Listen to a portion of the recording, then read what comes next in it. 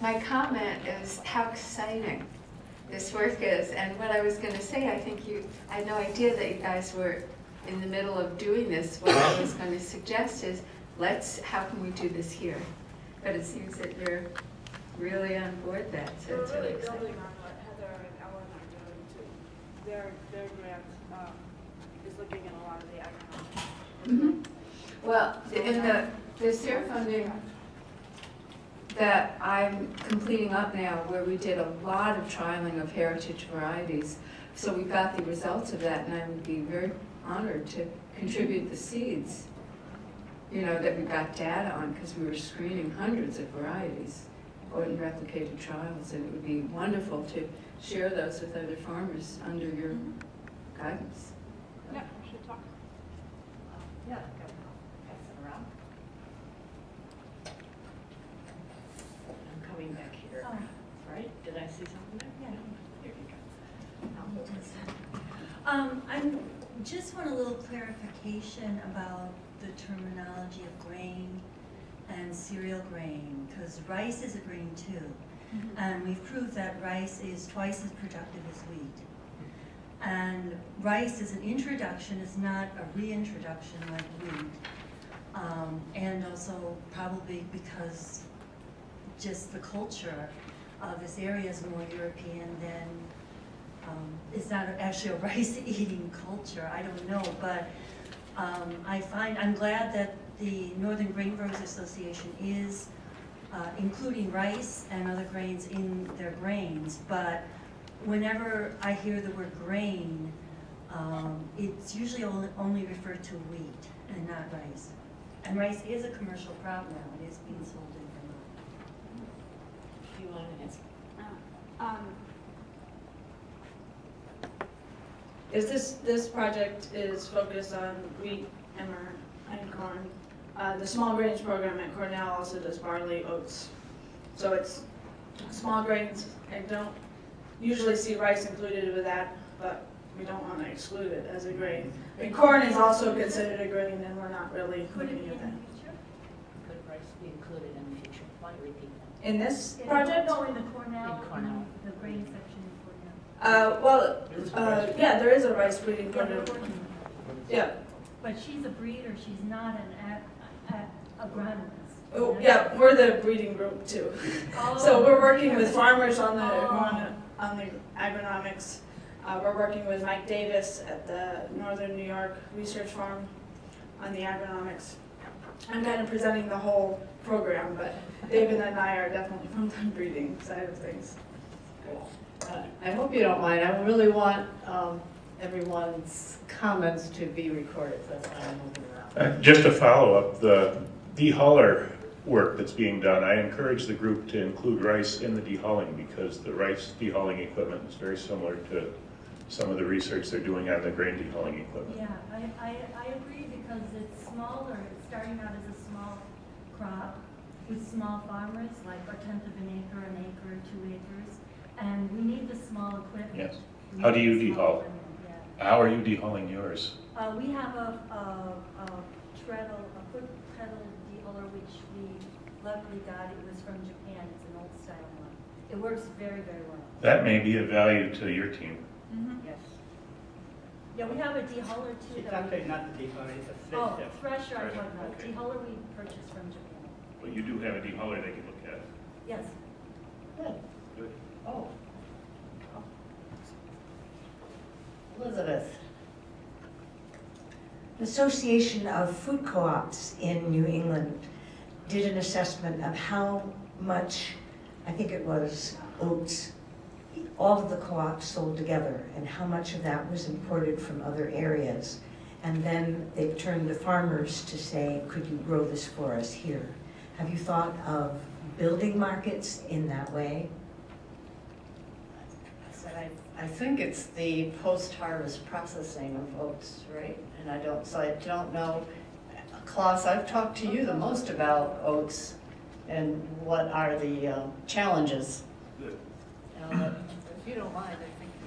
The challenge on oats is this similar but more complicated than with the other hulled grains, and that's when you dehull oats, it starts to spoil.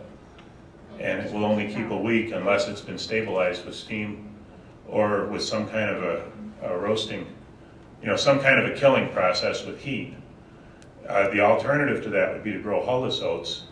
And the drawback on the hulless oats has been the equipment to separate the throwbacks. And it seems every year you keep seed back from hulless oats, you get a much higher percentage of hulls than you did the generation before. Uh, That said, we do have the technology to take hulless oats and get it clean enough to use. Uh, It's just been a, a lack of will to put it all together. My Just question is realized- really about building the market. Ah, that's what I just realized too. Your But the supply question is is, needed for the market. You have, but you have to have both. You have to be able to bring it to a marketable condition in order to build the market. And we haven't, we haven't had the will to bring these products all into marketable condition so that the market can be built from that.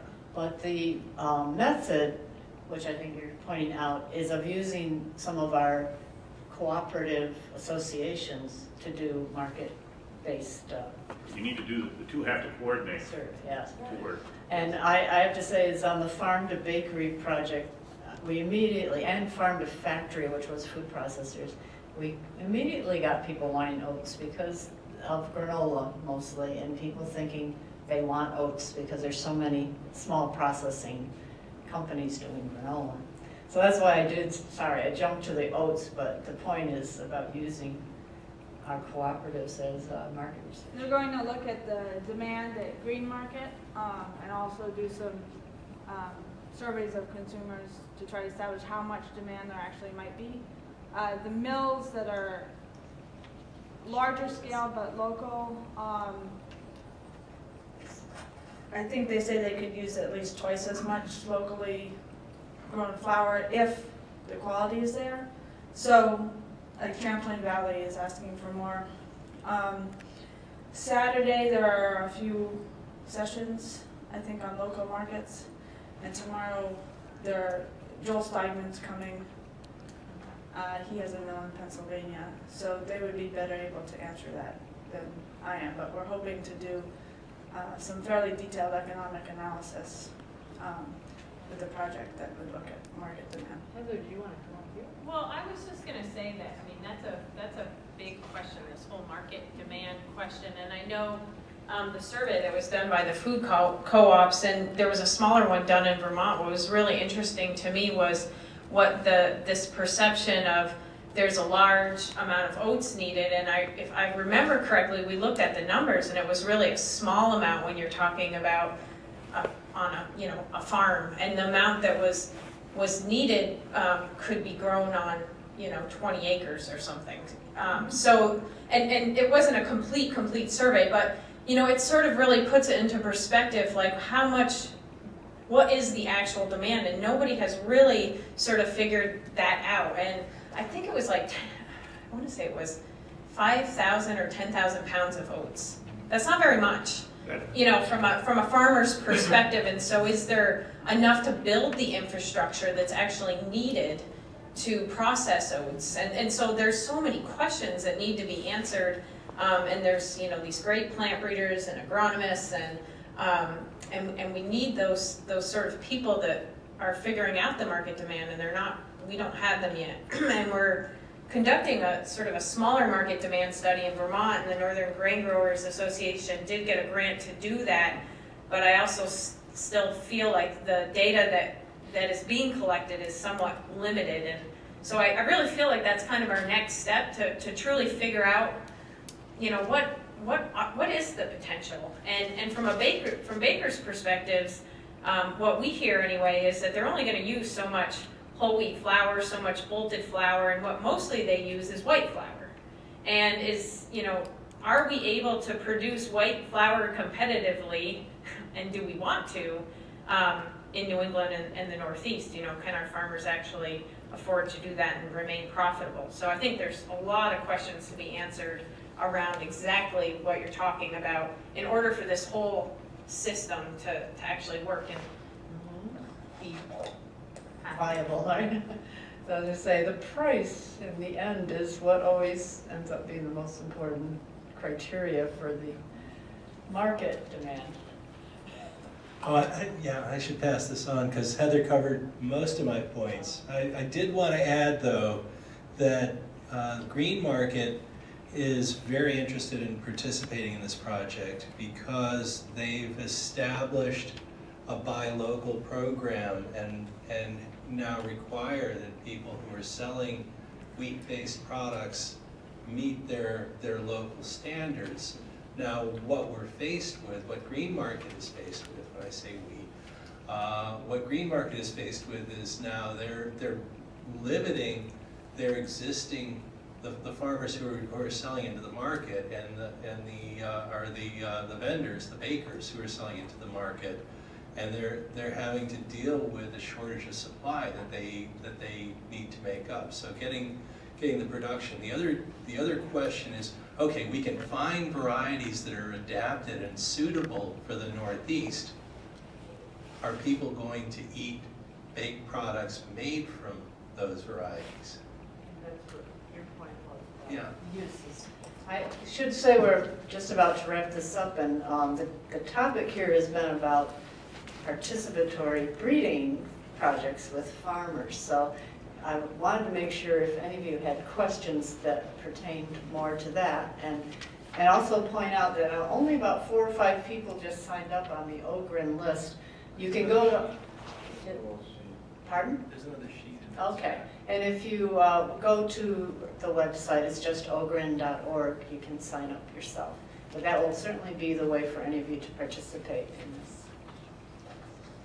Heather, you actually brought up an point, very important point that I think is central to this, and that's price versus, price that a farmer needs to make money versus price that a customer is willing to pay.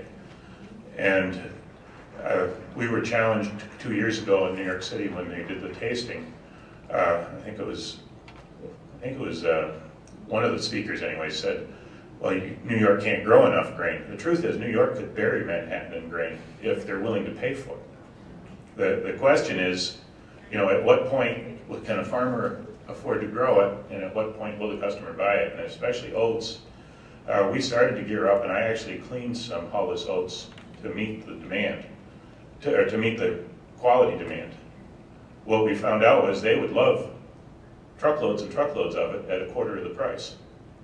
And, you know, and that, and place where the price is at a premium. that's right. Without the rest of Yeah, six dollar. Yeah, and the, actually, the breeding comes into that, though, finding vari- adapted varieties that that the markets want. And also, it seems the price doesn't mean a thing if you're the only game in town. If you've got something that the customer wants and nobody else has it, they'll pay the price. If they can afford it. Well, I think we are come to this end. Oh, we have one more? Okay. If you're all willing to spend a few more minutes here, we'll take one more comment or question. I'm just wondering, uh, We you do were want, talking you want. about baked food. But we could, you could process like a pasta and other products, like a- in case of rice, you can eat the brown rice, you can eat the white rice, you can eat the between the milling process, like half the way milled. And also you can process like a soy paste or rice wine. So I'm hearing only baked food right now. Is there any approach to looking for that other way to sell? She's talking about other product, other ways, yes, and we Yeah. certainly have been selling more of some of these grains into distilleries and breweries, that comes to mind. Uh, the project is focused on baking quality, but uh, bread and uh, pastries, which would be the soft wheat. Um, the the Emmer and Einkorn, we are still limited by seed quantities.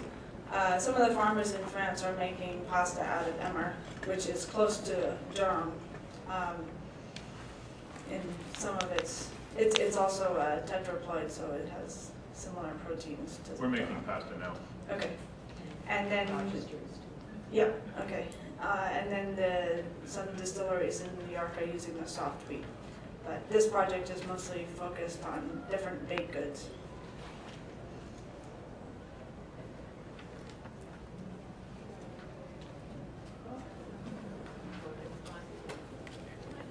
I want to thank you all for coming, and I want to